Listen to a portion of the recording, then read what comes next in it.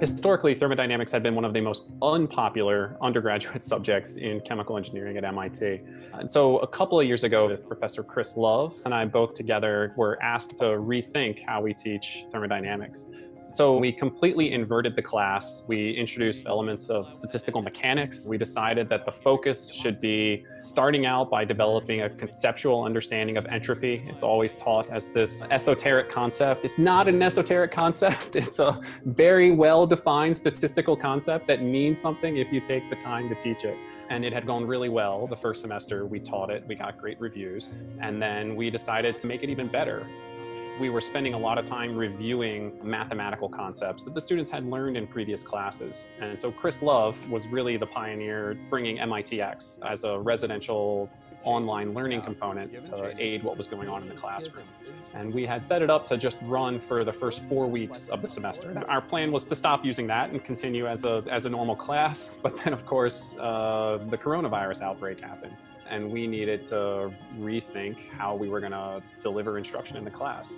The big decision was how much of the class to try to continue to deliver synchronously versus make it an entirely self-paced subject. Keeping in mind that not all students have the same quality access to internet, we decided to transition our subject to a completely self-paced subject. This was really possible because we had already developed the framework of MITx for this class we switched to releasing the material in weekly modules. We would record short lecture videos, short example problems, release a set of notes, and then there would be a problem set. And then we converted all of our existing lecture and recitation schedule time to Zoom office hours five days a week, different times of day, trying to capture every student no matter what time zone they're in and no matter what their personal schedule is.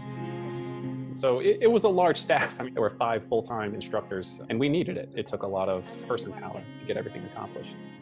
And the students, it was a challenge for them as well. Even though self-paced learning provided them with the flexibility to engage with material, it's not the way they're used to learning. It's not the way they've learned all their life. In the end, I think it was well received. One thing that I think we might keep, even when we go back to residential learning, we had 24-hour take-home exams and that just overwhelmingly relieved so much stress that normally surrounds exams. These are just good kids. Like they're just so genuinely interested in learning. And if you give them the opportunity to, to not be obsessed about their grade, they will not be obsessed about their grade and they will want to understand. The COVID remote learning experience really drove that home for me. I had forgotten just how dedicated our MIT students are actually to learning. I think one of the most important things we do as professors is sharing our passion for the material, teaching the students why you care about this, why this matters, uh, showing them how much it means to us. And that was one of the hardest things to convey in an online learning setting. So I think moving forward, best practices in the future for us are going to be a mix of self-paced and live sessions.